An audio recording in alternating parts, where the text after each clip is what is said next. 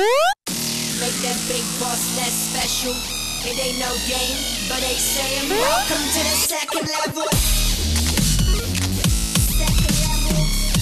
Second level gaming. Second level. Hey, um, how's it going? Um, so miraculously, I am here and so happy to introduce um, a, a wonderful woman who I met at the very first Pixelpop Festival. And I got to sit down and chat with her briefly at the time, a little bit about our careers and about, you know, our perspectives of the industry. And I just remember being completely fascinated by her perspective and um, just the, the experience that she's had uh, in the professional fighting games community and um, in games in general. And so it is absolutely my pleasure to introduce uh, once again Jason Li, who you all were able to see uh, give a. I, he, I hadn't been introducing him, but I'm also very fond of Jason. So Jason Li is going to be moderating, but I'm very, very happy to introduce Leah Gllty Hayes.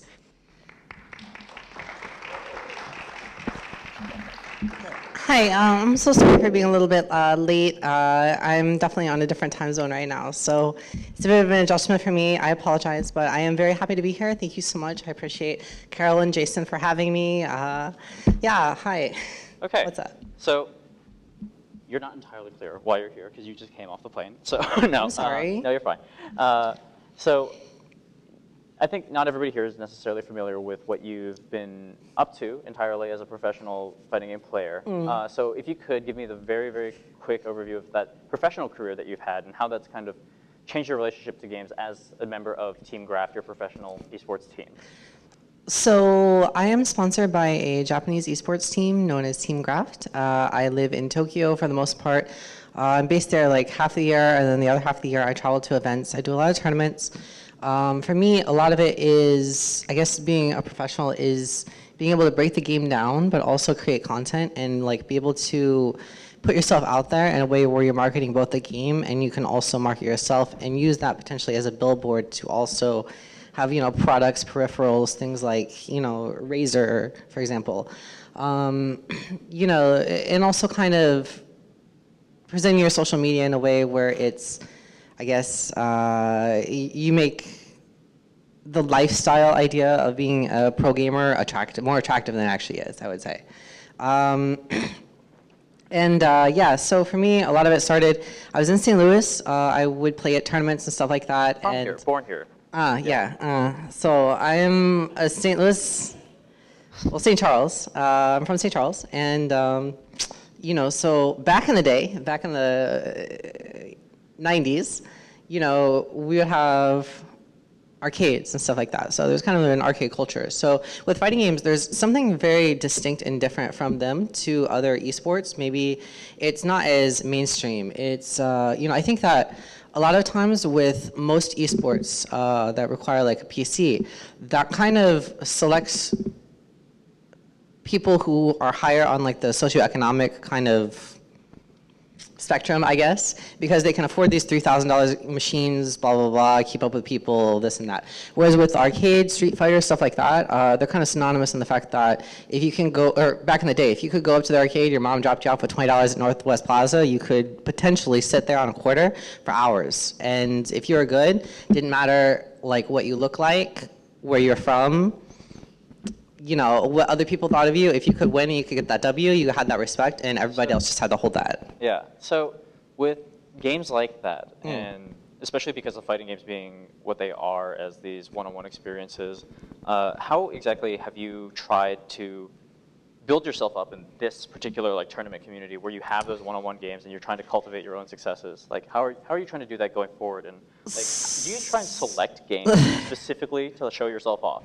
So, okay, one thing about um, visibility, I would say, is that you kind of have to select the game. You know, obviously you have to select the game that you go for. Uh, if I really wanted to go like hard, I would be doing Fortnite or something. But obviously I can't do Fortnite, or well, it's not obvious, but I mean, you know, I can't do Fortnite because I don't have that like history with like um, first-person shooters. Whereas with fighting games, I have kind of a pedigree of experience and you know a certain skill set that I can kind of reuse with different iterations of like that genre.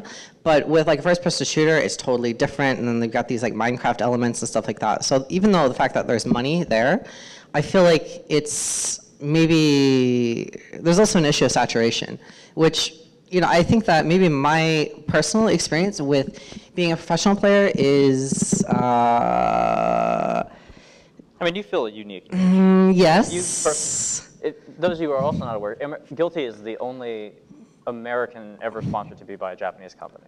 Uh. You have a tremendous Japanese following. You are David Hasselhoff over there, in terms of like your popularity. Like that's something you can Um, do, right? yeah. Bringing over Japanese cosplayers, right, Uh. to Evo very soon, next week. I uh, actually, right? also manage Japanese talent in America, so I kind of am a broker from, well, I kind of selling Japan to the West and the West to Japan. So I kind of have like a interesting side hustle with that. Um, yeah, a sorry. hustle, a Uh, professional side hustle. Um, and so you are this agent that kind of represents the FGC, and you try and build it up in a Mm. way that other people aren't necessarily able to or don't have the means to. So you have that relationship with the FGC that's very special. So how has that kind of shaped you, you know, as you think about yourself, like in that space? Because again, you are super unique in that way. I mean, I, okay. Sorry? No, go ahead. Oh, uh, so for me, I would say it was kind of easy to rise to some prominence because I have a very contentious relationship with my peers, and I'm not that shy about voicing my opinions about things. And also, I think that there's a certain degree where actions speak louder than words. And you know, if you want to sit at home and say all you want on the internet, you're just keeping like my name in people's mouths. And if you can't beat me, then what are you gonna do about it, punk? Like. Right. take a seat. I mean, so that's kind of like the attitude that served me well because at the same time, I'm able to, I mean, kind of beat most players and kind of uh, stand up on like an international level. So the fact that I'm a bit of a, how would you say, lightning rod for criticism. I mean, Oh, maybe okay. mine's more diplomatic. Yeah, Because maybe. so with fighting games, it's structured a little bit because it's not team-based. It's more like one-on-one.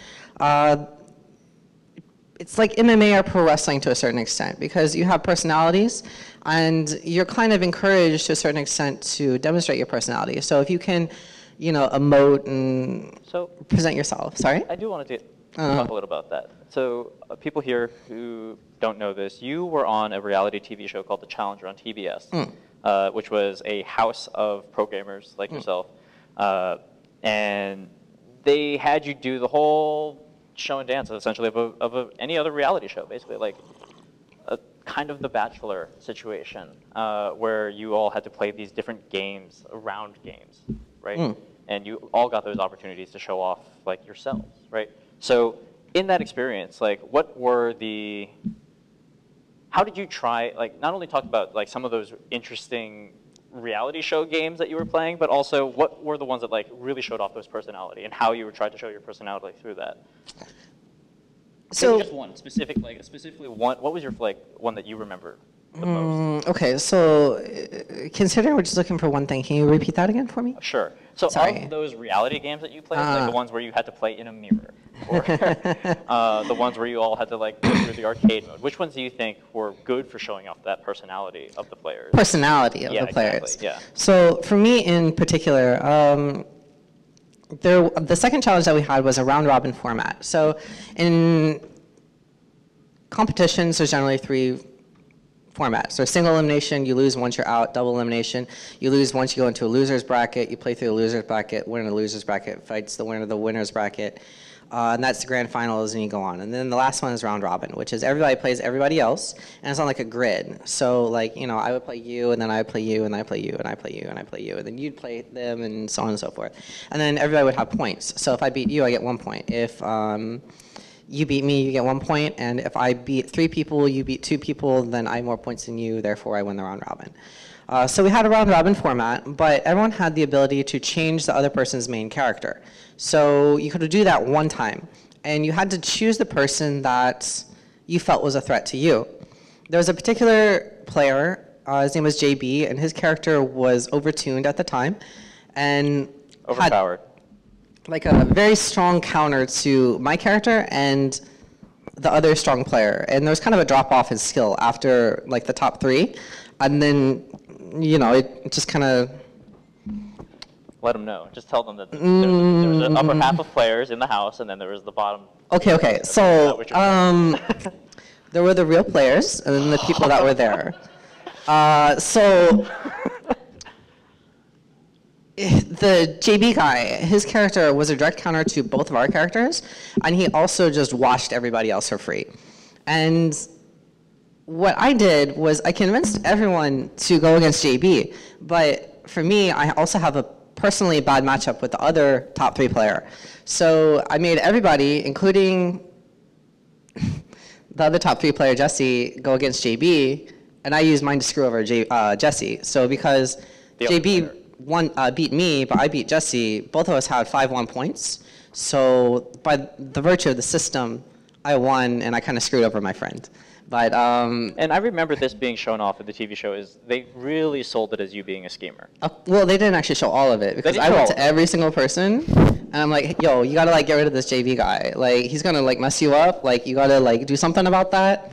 And like, I told him like before any of this actually happened, like, you know, they got the confessional cam, and I'm like, "Okay, um, Jesse's my friend, but I'm gonna convince everybody to go against JB, and I'm gonna screw him over because he can beat me, and that's my plan."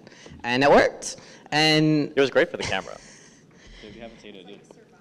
Yeah, it's very much Survivor. So style, uh, for me, also like I watched a lot of uh, you know reality TV programming growing up. So I kind of knew about the meta of the game, whereas I feel like a lot of people were facing it as too straight. So they're looking at it as maybe more so like, oh, I'm going to be really good at Street Fighter and I'm going to show my skills. And I'm like, ah, screw that. I don't want to do that. I want to get to that point. I don't want to get to the point where I have to play you. I want you to lose to someone that's better than me, worse than me, it doesn't matter. Just as long as you're out of the way and I don't have to worry about you. Um, you know, I think that And this is the personality that you were selling. Like this is the the kind of uh, snaky person that you were you were selling, right? only a little, Oh, my little. only a little bit. You know, it's being pragmatic.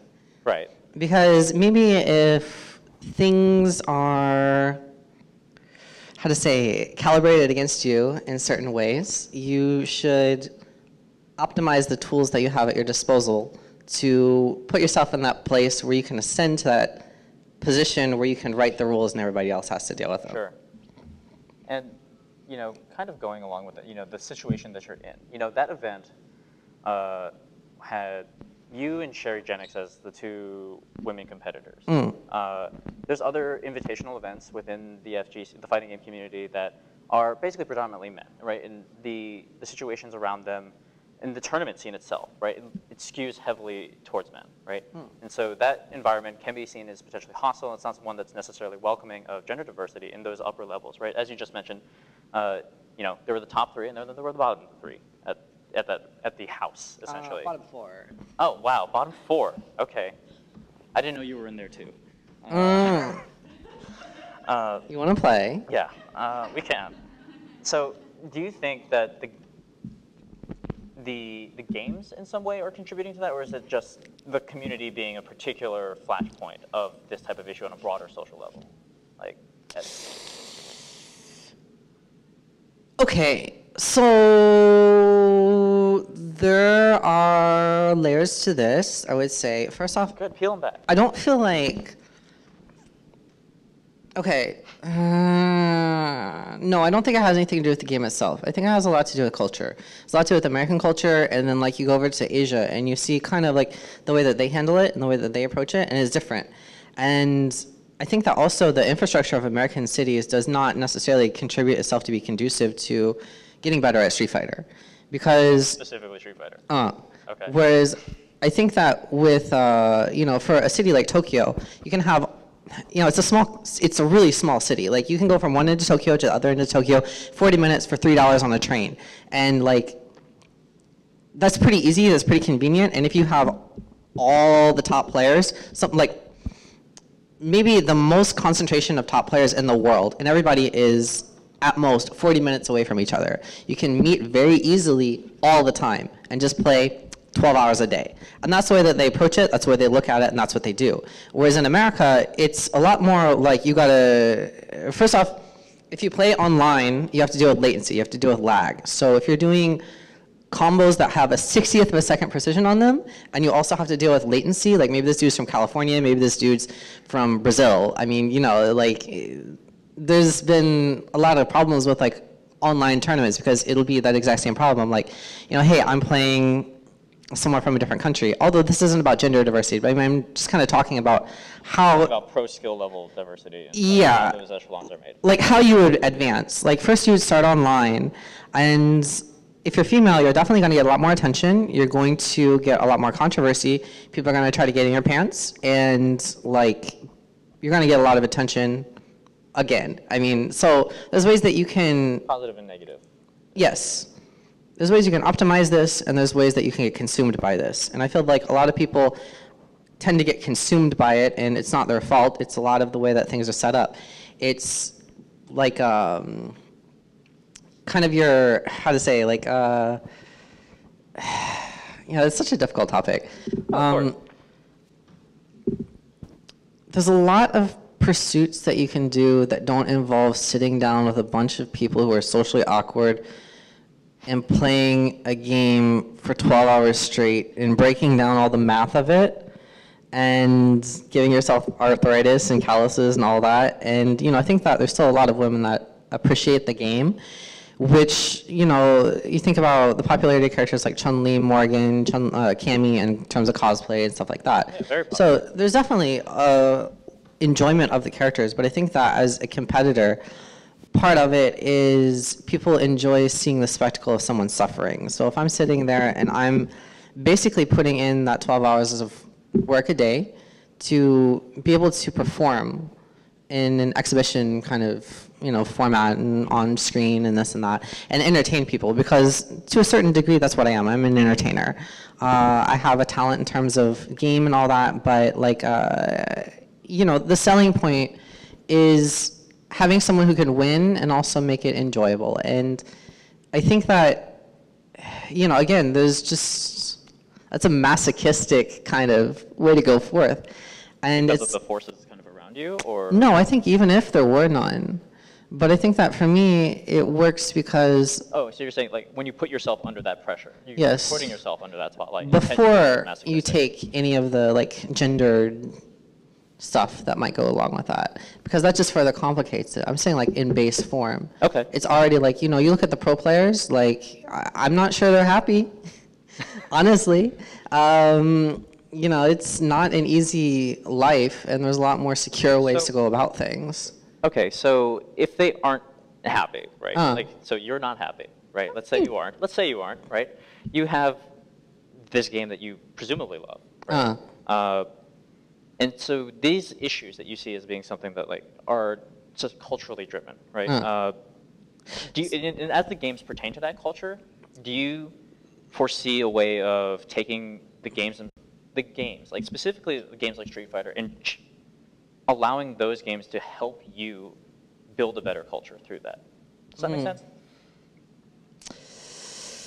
To a certain extent, but I think that it's a little difficult to put it in something that's practical and usable. Um, you hypothesize something like that as somebody with Okay, who, so- who deals with those pressures? What I would th- like to see. okay, okay. Repeat that question because I think I might have like an answer, but it's kind of a big answer. All right, great. Uh, so I'd like to ask you the ways, insofar as games themselves contribute to that culture, right? That cultural Mm. pressure. What type of changes could you see in the games, practical changes in those games that could help you deal with those pressures and alleviate some of those pressures? Okay, you know, so- make happier pro players. I'm going to create some context for this, and I think that part of it is with the pro player, it's okay to have a division between a pro player and a casual player because a casual player plays for fun. The pro player does not play for fun. The pro player plays with kind of a relationship with the game and the designers of the game to demonstrate what you're able to do in the game. So it's a job. It's not about your fun. It's not about how much you like Sure. it. If you like work at whatever you do, like even if you enjoy your job to a certain extent, I enjoy the travel. I enjoy going around doing all these things. But the nitty gritty of it is I'm trying to break down the game in a way where I can show people what you can do with the game so they can have more fun with it. So I'm sharing my jo- like mm, maybe I want to say enjoyment is not the right word, but I think that also people enjoy different things. Like for me, Well, to, to bring you back Okay. into what you were just saying Sorry. about like no you're fine to, to bring you back into that idea of showing off to other things are there obstacles currently in the games to do that like what are what's getting in the way of that if that's what you really want to do like are the you know, I- I think that it's just in the- its own road I think it's all the groundwork because Street Fighter is such a legacy. go into that what that groundwork is a little elaborate Uh, quick just, okay. Um, no, I mean, so yeah, Street Fighter is 30 years old. So there's people who are 40 years old now who have 10 year olds who are picking the first Street Fighter character, and they can have the experience of, yo, I threw like some fireballs, you know, in uh, Northwest Plaza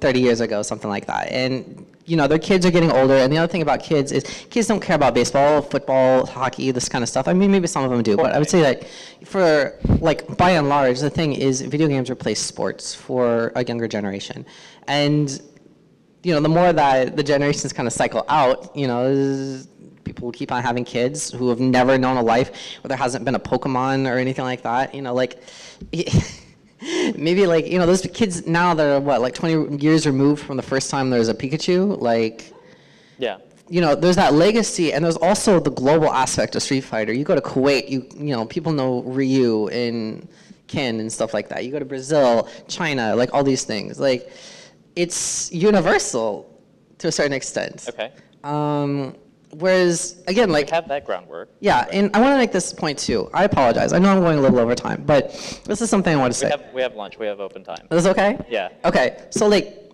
Street Fighter is different and unique in the fact that it is well not just Street Fighter, Street Fighter, Tekken, all these like fighting games, because anyone can play them. So it's a lot more diverse in some ways, and it's a lot less diverse in other ways because like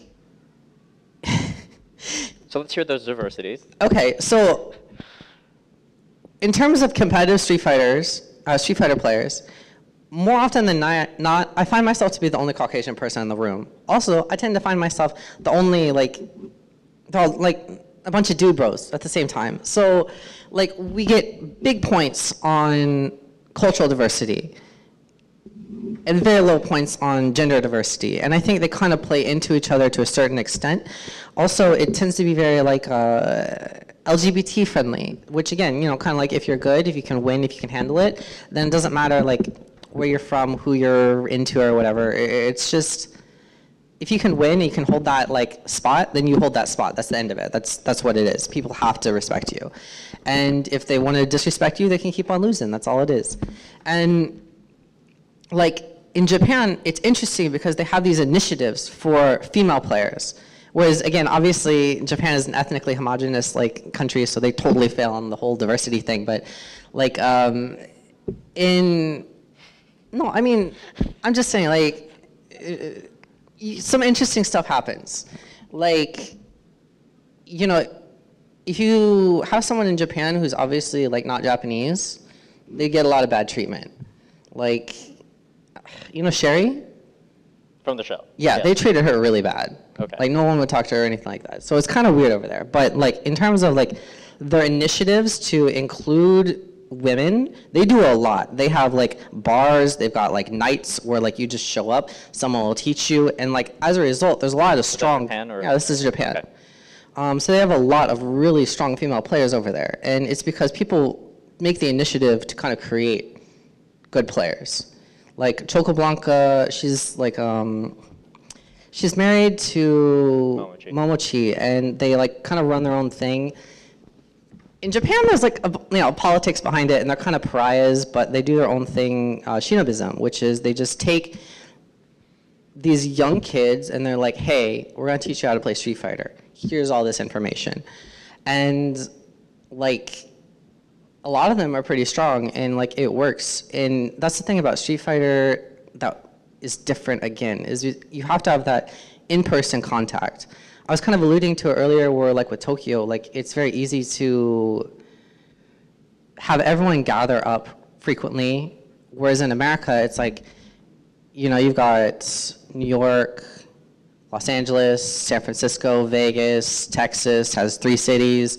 You know, so on that point, do you imagine we could have a type of fighting game that, instead of emphasizing that physical closeness, like can be I think that's stupid. difference? What? emphasize like you know oh let's, you let's make should- this more impersonal no that's Right. that sucks Okay, so you, you i are think that people a- should yeah. encourage events people should make it so you come out and like i'm seeing you i'm talking to you. I'm making an actual Right. friend with you. We can go like get dinner afterwards or something like that. That's important. That's something that's missing from games. It goes more and more into this like kind of uh, impersonal hey guys let's play some games. All right what's your like xbox live name? No i mean show up at my house. Right. like i will buy you a pizza. I don't care. Like Yeah. No, totally.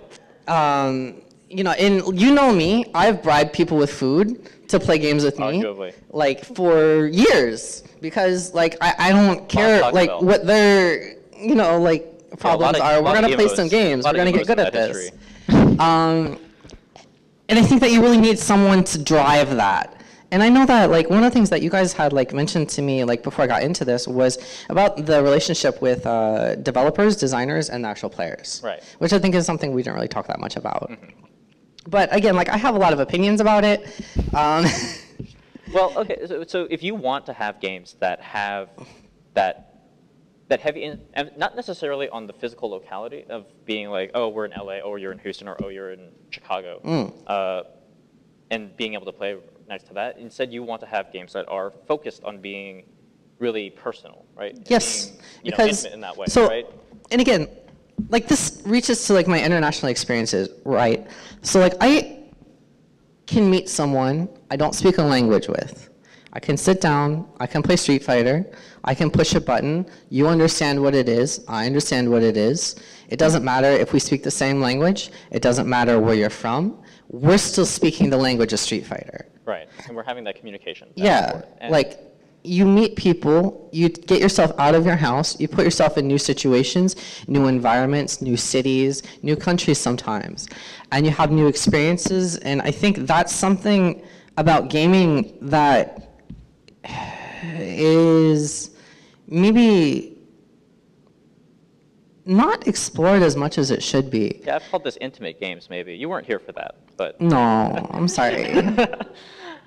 uh, but the idea that you could design specifically for that that moment of communication, right? You you see that as something that fighting games are very good at. You know what I think is fantastic? Final Fantasy XIV has a language translator in it. Okay. So it doesn't matter if you're Japanese, you're German, you're whatever. Like if we play on the same server, we can use this little feature mm-hmm. and we can communicate. So we're bringing each other together. Yeah. And I think that's the thing about gaming is it's a medium you can communicate with other people. And you know, there's rules to the game. And if we all agree to the rules, Okay. So the idea, we can have a conversation. you're so if you were gonna like hypo, again try and hypothesize something practical out of it, right? Mm. The the street the Street Fighter Six, the hypothetical Street Fighter Six. that- Vampire 4. Uh, it's okay, fine. Vampire Savior 4, Darkstalkers. Uh, Darkstalkers 4. If you the next big one, basically. Mm. How would you hope that it emphasizes what you're talking about right now, this communication aspect? Like, what is missing now that you want to see? You know, okay, so I think that Street Fighter does the esports excellently. I think what Street Fighter does poorly is maybe like budgeting with like uh, bureaucracy and kind of the east-west split. So this is maybe not like giving you the answer that you're looking for because a lot of it is like I am kind of familiar with the company to a certain extent. And you know, there's like uh, Japanese developers who are very set in their old ways. Oh, you're talking about East West America, Japan, Yes. not East West Coast. No, no, no, no. I'm talking about like you know, Japan is interesting to work with. Um, like okay, so my character is currently pretty strong, and the reason why this happened was because I made a video with a Japanese player through my team and all that, and it was well enough where the dev team knew about it, and they came and they asked me what I thought about Menat and what Menat needed to get better. The character. Yeah. Yes. And I told them. And then they listened to me. So now she's in top same, three. In the same way, we're all listening to you now. So like in the broad spectrum of like the potential Darkstalkers for, it might not come from Capcom, right? Mm. It hmm. might come from somebody in this room, right, or somebody in this building. Mm. Uh, you know, if you had something to say to them about what you want to see, right? What do I want to see? Right. I mean, you know, I That's think that a lot of it is. to a certain extent more of the same, like with what Capcom is doing. But I think that a lot of it honestly, is outside of the realm of the designers. I think that it's players, it's people taking that grassroots. So maybe, you know, it's not in the game itself. It's like kind of the relationship that you have and how you guys promote your players, like who you know, who you want to showcase the game. Because as I said, like, you know, if I have a relationship with someone like Capcom, my design, uh, my job is to show people how to play this game, how to enjoy this game, because this game is too hard for people who aren't, fuck, sorry, who aren't masochists. This is a kid. For, Sorry, um, I, I apologize, but uh, you know, like, where was I? I got caught I'm up. talking about emphasizing players, but it sounds like we, so like yeah. okay so a lot of this is outside the game because we briefly talked about this and like you were mentioning like you know stuff like inside the game to kind of you know promote and everything. And i'll be honest with you if i have a choice between using an in-game ui or youtube i don't care about the ui i'm gonna watch youtube because this stuff's easy i can do it on my phone. Like even like twitch. You think like the twitch app on my phone it's a nightmare. I'm not doing that. Like it's So it sounds like integration's nice yeah. if it's seamless. But if there's even a slight reason for me to just alt tab YouTube, I'm gonna do that. Like, and I think that maybe that's not something that's worth really like worrying about too much. Is that kind of what you're asking? I'm sorry. It is kind of what I'm asking, but it like I, I like didn't even to try and cut you off earlier. but- tangent. no, it's fine. Uh, the the thing that it sounds like you're talking about is really having if you want to build up those environments, build those communities, it has to come from like the create, excuse me, the creators of the game to kind of promote those players that they care about, right? So for Capcom to find you. Mm. And then to promote you, for Grapht to come out and find you and promote you, and A lot of this you, was right? me taking initiative. right. So I'm looking at it and I'm being like, okay, there are certain voids. Like there's holes. There's things that I can do to fill up the gaps and I mean, you certainly fill a gap in Team Grapht, Mm. right? of course. but you know, it's looking for opportunities and niches and not being afraid of it. Although I think that's one thing about players in general is that players tend to be timid. They're not always the most charismatic. They're not always outgoing. So you kind of have to like drag them out of their comfort zone. And I think that also a lot of them mm, don't really think about it in maybe the right industry mindset, I would say, because there's kind of a tendency to be like, hey guys, I'm gonna play on Xbox Live and I'm gonna get a lot of points and then I'm gonna get sponsored and everyone's gonna love me and I'm gonna win all the tournaments. Or the type of player who's like just very loud online. Uh, yeah, but I think that's kind of the same. Okay. You know, like you're talking, you're not letting your actions speak for yourself. I think a lot of people like to do that. Like, I tend to not tell people like what I do in terms of like professional gaming because unless I want to sit there and be like, yeah, you know, one time I went and I won a GameStop tournament for five thousand dollars in Guitar Hero like six years ago. There's no like re- you know record of it, but I I, I- definitely and it's like yeah okay sh- sure buddy like that's Would that's you kind want more record keeping actually in the games? oh record keeping's nice yeah I like, Like- that like you suck I know you suck Ouch. That's not that's not true like five years ago. That was I- saw not your stuff. I definitely No? beat you multiple times. But anyway. yeah, and then you left. You Yeah. couldn't handle it. You abandoned me. You left me with the vultures. And then what did I do? I went and I conquered yeah, now everybody. you made it. Yeah. Started from the bottom. Where are you? Where were you? I'm talking to you, aren't I? Oh, Um, okay, okay. uh, Sorry. So there, there definitely are. It does seem like there are some things like uh, that we could do, like Mm. being better about player outreach, being better about tracking these events that are happening. I think I vaguely remember Dead or Alive from Tecmo did that a little, or at least they were advertising. Street Fighter's tracking sucks. It does suck. Uh, not to disparage many games, but I. Like, I, there's Actually, no way to like know, do I- the tournaments within the game or anything like that. Like th- community engagement for the game seems to be a big sticking point for you. Street Fighter is actually kind of an interesting case for a lot of reasons because of how the development cycle went for five. Okay. You know what I'm talking, uh, talking about? They rushed it out for esports, but then they didn't have all the like content. yeah. you know, like uh, you know, no like story mode or arcade mode or whatever. And like for most people, like who cares? But that's not the point of it. The point of it is to get on the big screen, make it like a entertainer, spectator kind of thing. Um, And sorry, I get off tangent does a lot. designing for spectators matter? Yes, Yeah. that matters. That matters a lot. Yeah. Because again, like you got the professional player, and then like to make the professional player suffer, you have to make it entertaining for everybody else. Okay.